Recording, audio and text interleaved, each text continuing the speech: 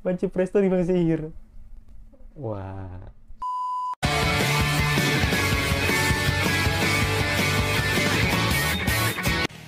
Halo guys, kembali lagi bersama gua di channel Will Nimeku. Hari ini uh, gua bakal uh, merasakan anime lagi yang sudah jalan dua episode dari anime kesukaan gua di musim fall 2021 kali ini adalah Seikai Seiko atau istilah lainnya uh, One Finish Assassin atau Ancasu apa gitu pokoknya ada ada bahasa lainnya pokoknya gitu. Jadi uh, gua harus nonton lagi sih. Gua harus nonton lagi di episode ini karena uh, gue bener-bener sangat tertarik banget di episode kemarin di mana uh, ternyata MC-nya ini adalah pembunuh gitu yang di mana uh, apa ya kayak gua gua tuh terta apa gua tertarik itu ketika uh, backstory-nya ketika sebelum dipanggil Kiseikai gitu di mana emang dia ini adalah pensiunan gua nggak tahu sih apakah dia jatuhnya ke mafia atau apa gitu.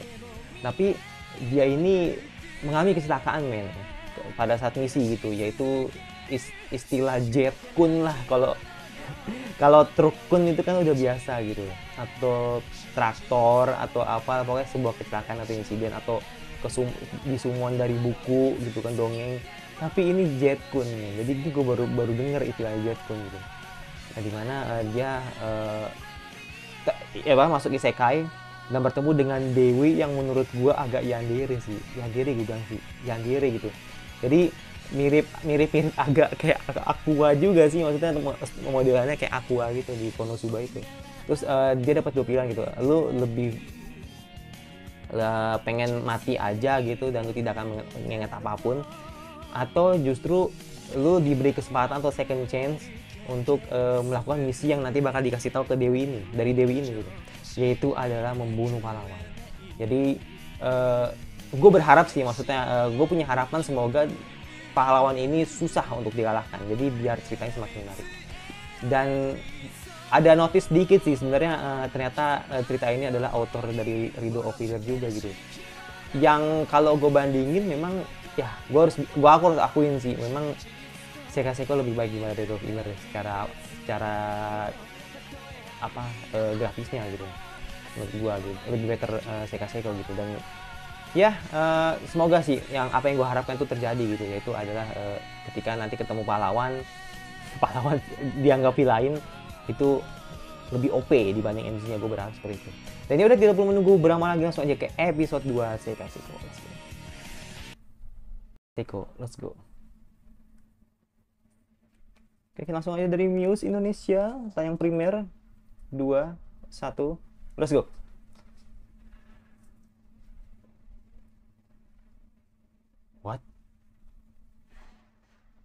Kesepakatan mekanisme. Oh! Nggak ada opening. Ini nggak ada opening. Nggak ada opening ini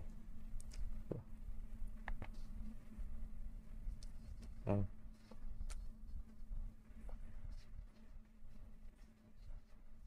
Iya hmm.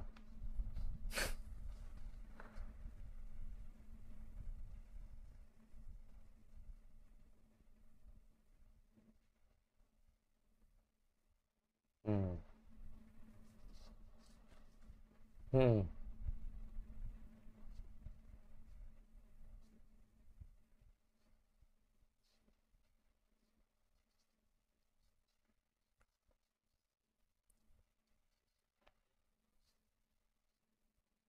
Iya, heeh. Heeh. Itu. Jadi dia diberi kesempatan lah. Lu mau kayak lu mau kayak gimana gitu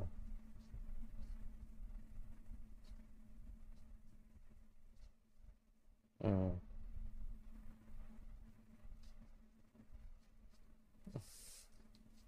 siap iya iya karena emang dari dari real life-nya emang dia dengan senang hati dibang, dia, dianggap sebagai alat itu Iya.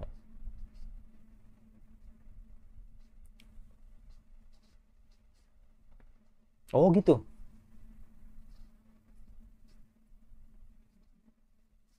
Oke. Okay.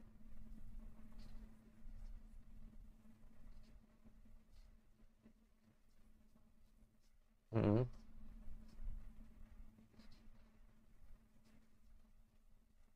Tingkat waktunya 18 tahun. Siap.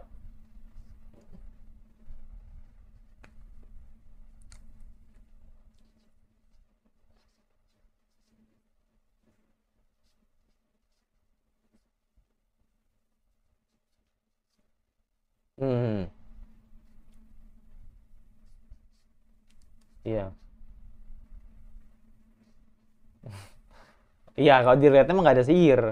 Emang nggak ada sih. Pasti di mana-mana kalau sihir tuh isekai. Hmm. Iya. Nggak afdol kalau di isekai nggak ada nggak ada sihir itu.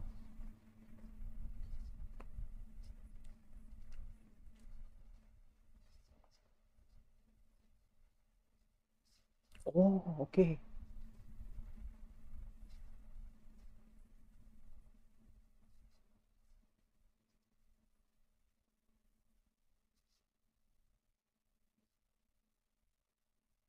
Iya.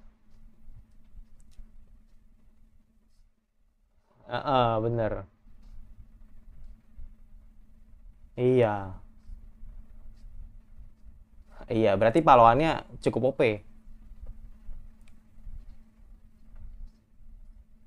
Hmm.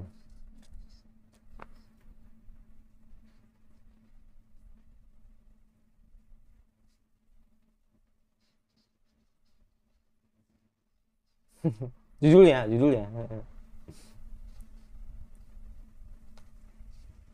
Minimal OP, ya minimal setara.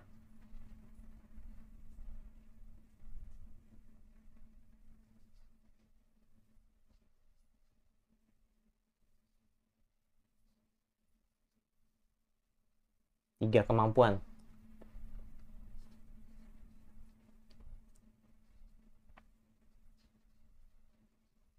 Oke,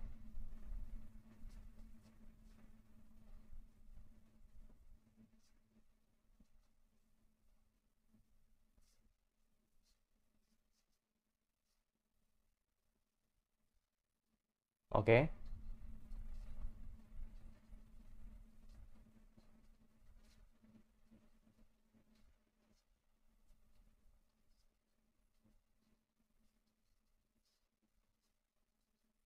Hmm. Iya, ketika udah matang lah. Enggak boleh.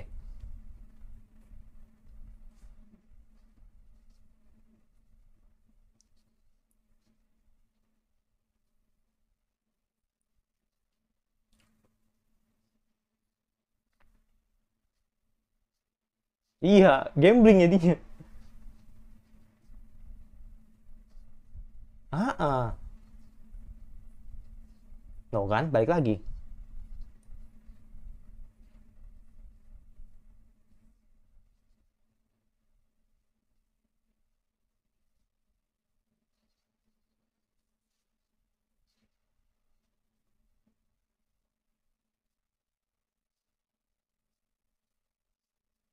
123.851. Banyak banget. Banyak banget.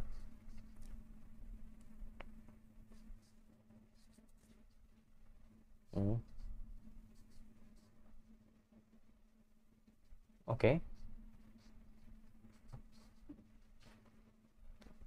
Oke.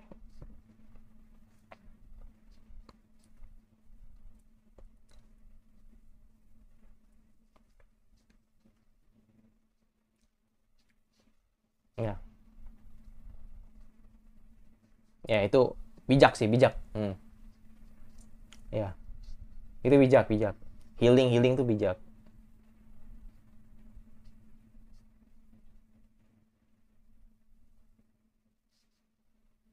Oke.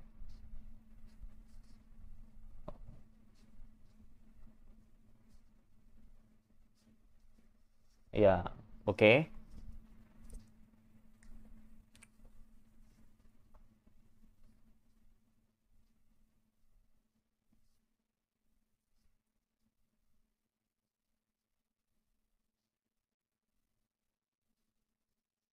Hmm. Hmm.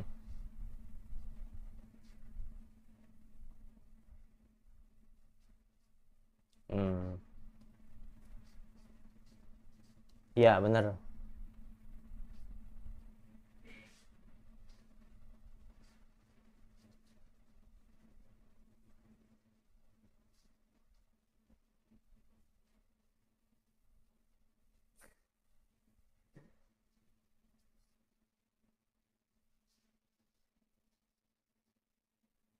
Mhm, oke. Oke, ya, ada 6.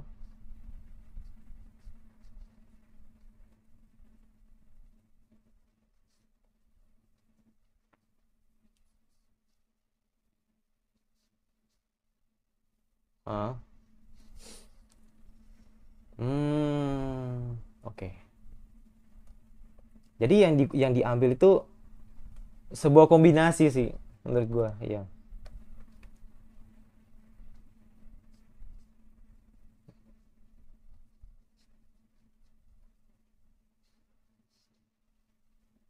Hmm.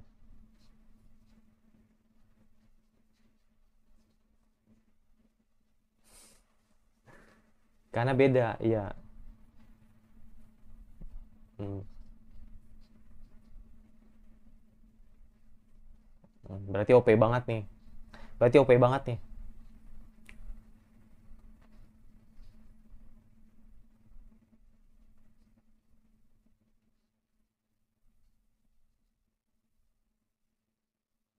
Keluarga Baron dua telek. Oke. Oke.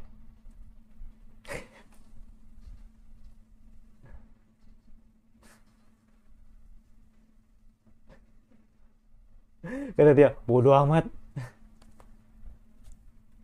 Let's go.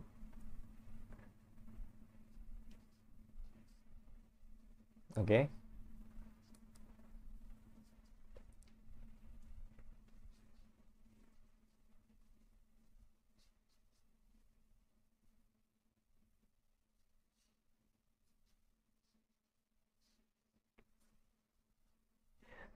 Iya.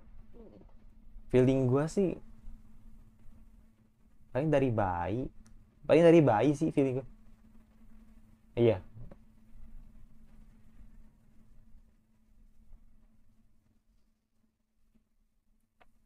Dari bayi kan? Iya. Eh?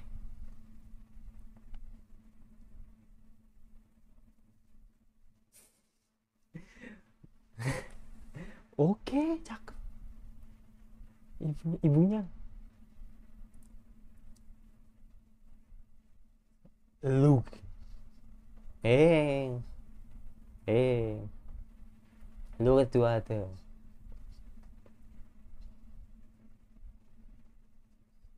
Tua Hado itu klan atau ya nama bang nama bangsawannya.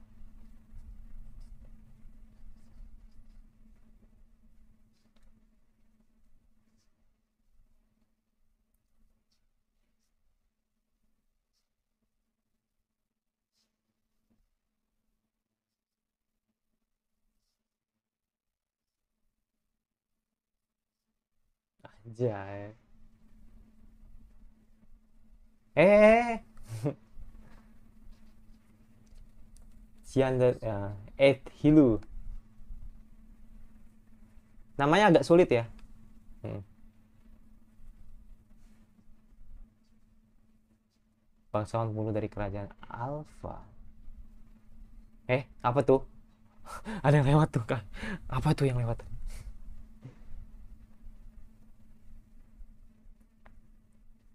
Dan langsung sudah besar itu.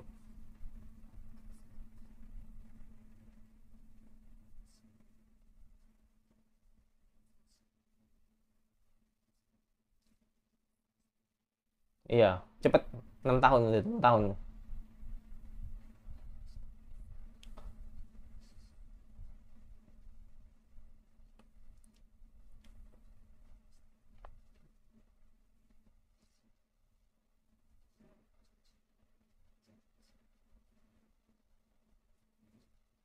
Hmm? Hmm. Capret. Oke.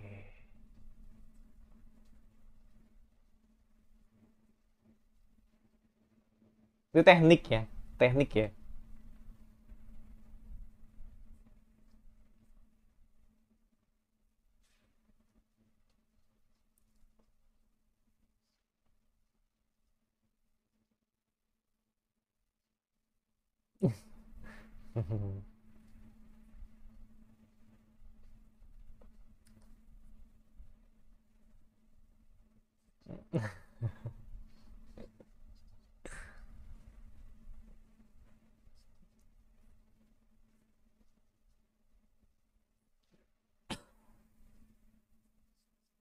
Wow, bulu diet.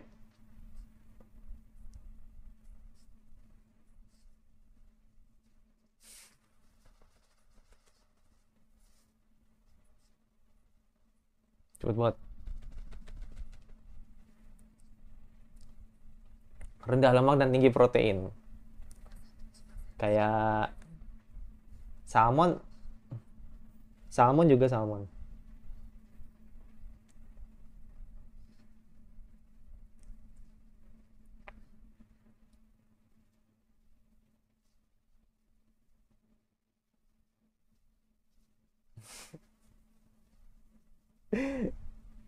Banci Presto di Bang Sihir.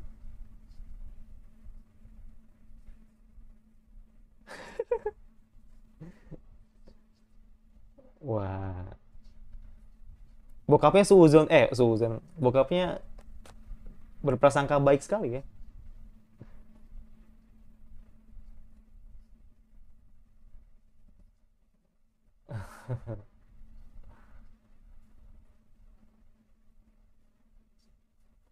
Oh,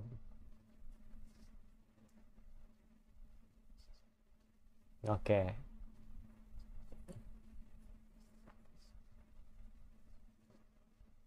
Iyalah, pastilah enak lah itu. Hmm.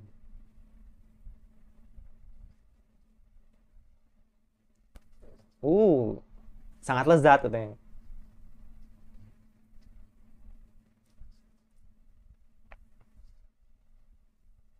Hmm.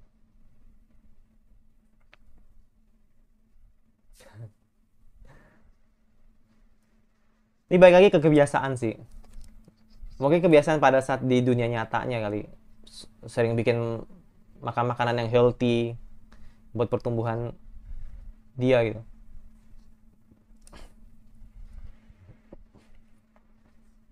Kayaknya sih. Hmm. Hmm.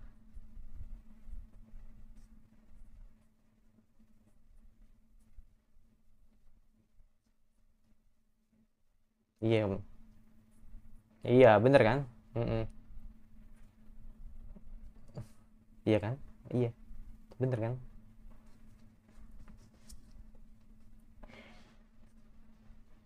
Hmm. Let's go.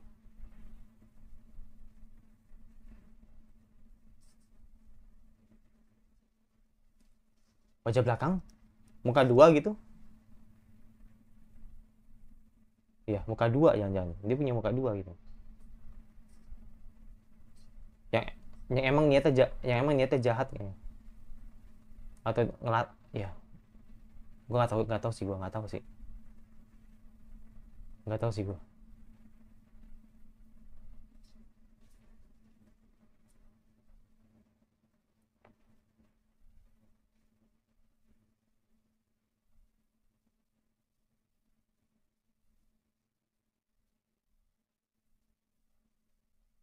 Oke.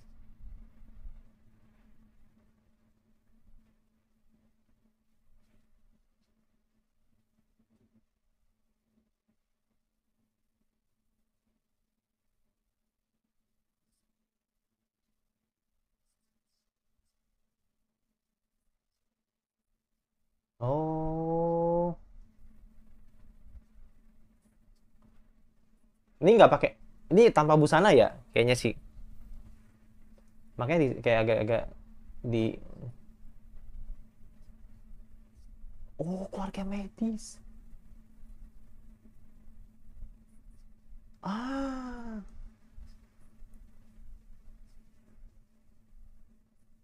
ah, Oh, siap.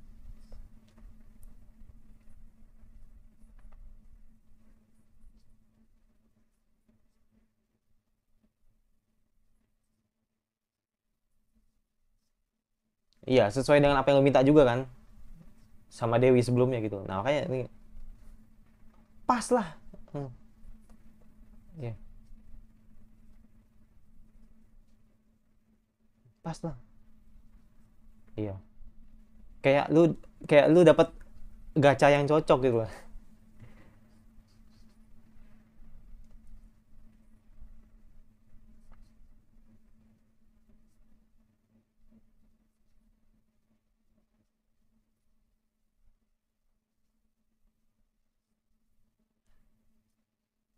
Oh.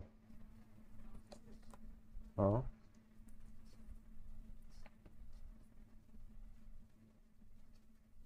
Mhm.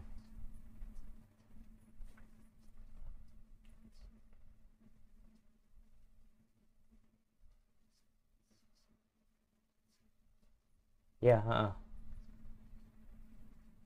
Iya. Ya. Dan bisa nembus objek sih setahu gue sih.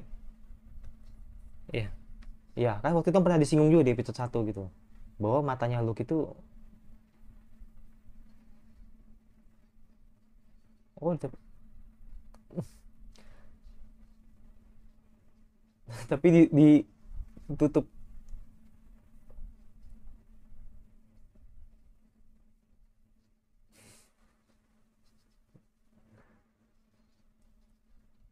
eh,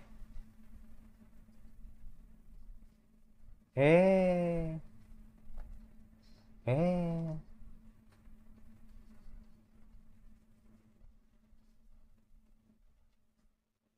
Merinding gue dengernya.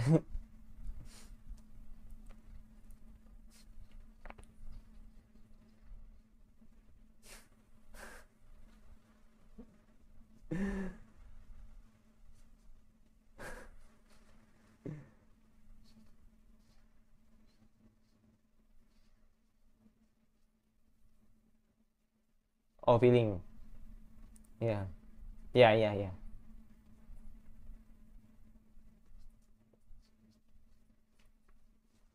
Mm-mm. Hmm. Nanti kita bakal jelasin semua di akhir, oke?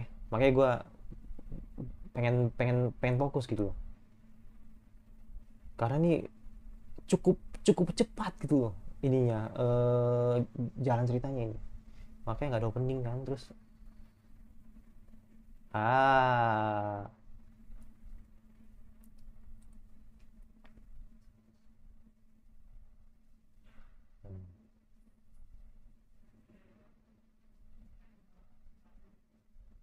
Ya kan ah. bisa nembus objek, bisa ngeliat dari jarak jauh, bahkan bisa ngeliat makhluk laut eh makhluk makhluk hidup yang lain gitu loh kayak burung. Iya gokil sih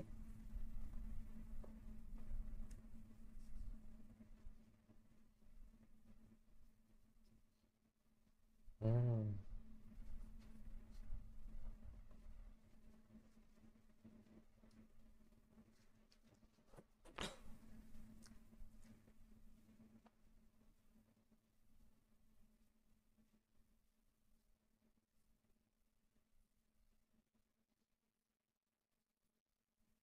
guru sihir.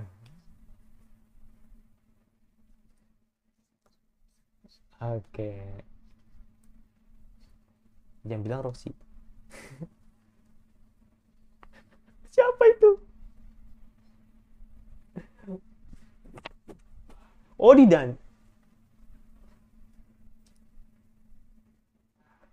dan dong. Oh.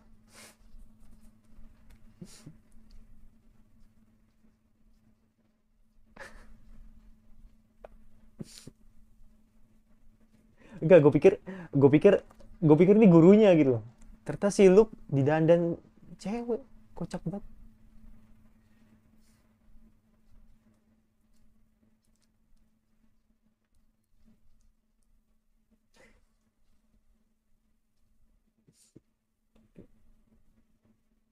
jangan-jangan jangan gue penasaran sih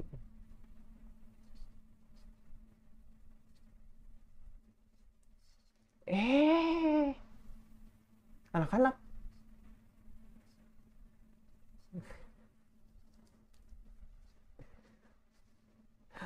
Gue langsung inget Roxy. Hmm. kenapa kok dandan perempuan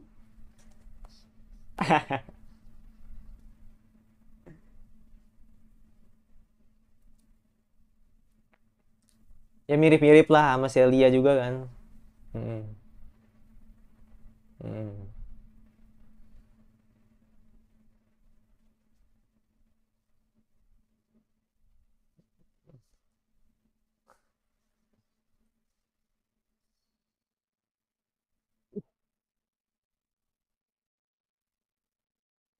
Siap.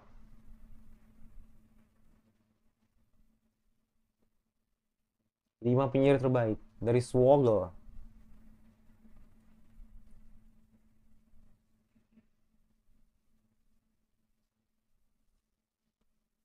Dia nih namanya ya.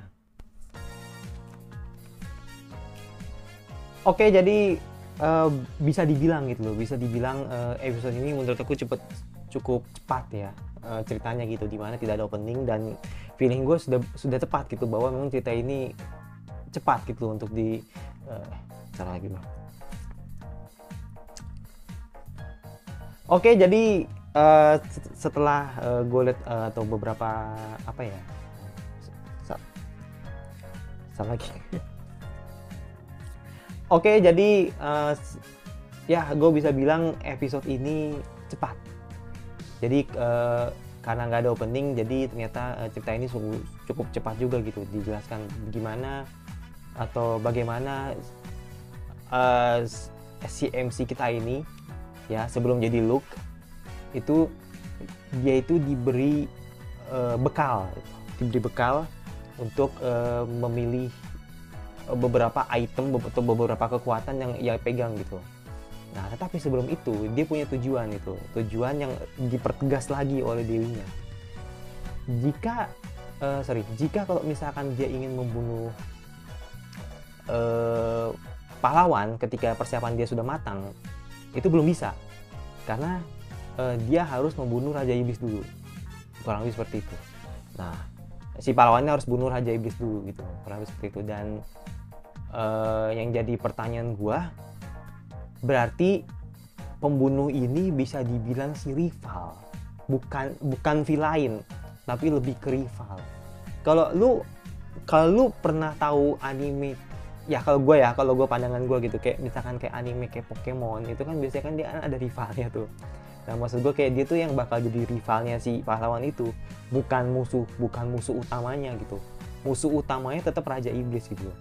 Nah gue nggak tahu Raja Iblis ini apa bakal jadi cuma jadi kayak pajangan doang atau justru yang Raja Iblis ini bakal jadi villa ini gitu. Nah ini kan kita kan nggak tahu gitu seberapa kuat uh, antara Raja Iblis dengan uh, pahlawannya gitu. Karena kan tadi kan disinggung bahwa pahlawannya kan mempunyai uh, 30 ke, 30 kemampuan dalam satu tubuhnya itu yang luar biasa gitu.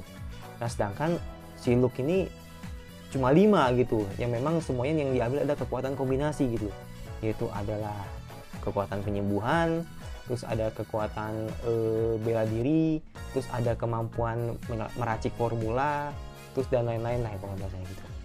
Nah makanya e, ya itu gue bilang yang gue bilang itu kayaknya si Luke ini bakal berperan sebagai rivalnya saja sih bukan sebagai musuh uh, bubu, uh, bukan bukan musuh atau villainnya lah bukan villainnya uh, pahlawan ini gitu kurang lebih tapi gue tapi tetap sih gue feeling gue sih seperti ini. Mungkin raja iblisnya tidak tidak seberapa sih. Maksudnya tidak akan tidak akan seberapa lah e, kekuatannya gitu dibanding dengan nanti pahlawan itu. Karena pahlawan itu mungkin akan membunuh raja iblis dengan mudah. Nah di situ e, dia dikasih choice gitu. Kalau misalkan lu mau apa namanya e, menyelamatkan dunia tanpa harus membunuh pahlawan bisa gitu. Nah, berarti kan ini kan harus diuji dong ya kan? Nanti kan harus diuji dong e, tujuan awalnya si Luke ini. Apakah dia memang uh, punya apa ya punya prinsip sesuai dengan apa yang ingin dikatakan oleh dewinya yaitu adalah membunuh pahlawannya atau justru menyelamatkan dunia. Jadi makanya di antara dua itu si uh, Luke ini bakal menentukan sikapnya gitu.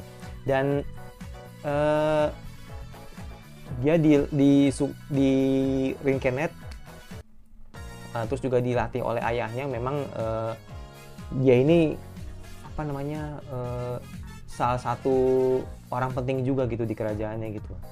Yang di mana uh, dia ini bisa apa ya uh, bisa atau jago healing juga. Terus abis itu dia juga uh, salah satu base assassin juga gitu di uh, apa di keluarga gue bilang sih ya ya keluarga Be, ya Baron lah keluarga Baron ini. Di kerajaan ini yang, yang atau bangsawan ini yang dibilang cukup OP gitu. Makanya uh, akhirnya beberapa kekuatan-kekuatan kayak mata mistiknya yang diberikan oleh si Luke itu. Dan ya uh, cepet sih cepet banget sih. Tahu-tahu uh, Luke udah ada progres lah gitu. Dan di akhir dan di akhir Luke uh, yang pastinya gitu ini klasik isekai sih menurut gue jadi diajarkan oleh gurunya yang mungkin bisa seumuran bisa uh, di bawahnya atau di atasnya. Tapi feeling gue sih dia cuma karena badannya loli aja sih. Jadi dia mungkin udah tua gitu. Yang pertama sih dia. Ya dia. Ini dia. Dan dia yang bakal ngajarin uh, Luke ini sihir nantinya di episode 3 nanti. Ya itu gue langsung inget Celia gue langsung inget Roshi Sensei gitu yang memang uh, uh, mengajarkan uh, kekuatan sihir ke MC cowok gitu. Eh ke MC-nya lah itu ya itu aja sih uh, apa uh, kesan kedua gue untuk melihat uh, anime ini. Kayaknya gue bakal reaction sampai habis sih karena gue tertarik banget. Karena gue tertarik. Perkara nanti jatuhnya harem itu gue nggak tahu. Maksudnya gue nggak nggak komen lah kalau harem gitu. Tapi gue cuma berharap gini sih gue cuma berharap gini sih. Kalau misalnya memang uh, Luke ini akhirnya memutuskan untuk menyelamatkan dunia, ya nggak apa-apa gitu. Tapi gue cuma berharap semoga Luke ini sedikit kewalahan lah untuk melawan pahlawan ini. Gue cuma, cuma berharap itu aja sih. Karena kan Luke ini kan diajarkan sebagai orang yang yang sudah OP kan, maksudnya yang yang cahdi kulomnya cukup baik lah ibaratnya. Dan jadi dan dia uh, akan diajarkan banyak hal gitu. Jadi ibaratnya ya akan jadi OP juga gitu.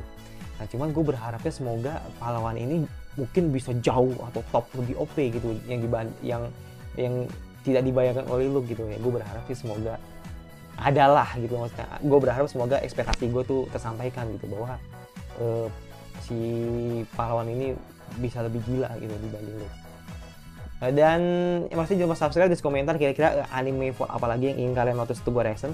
Dan jangan lupa like kalau suka kalau nggak suka tinggal dislike aja. Dan jangan lupa nyalain notifikasinya kalau tidak kena video dari gue dan sampai bertemu lagi di reaction anime gue ya.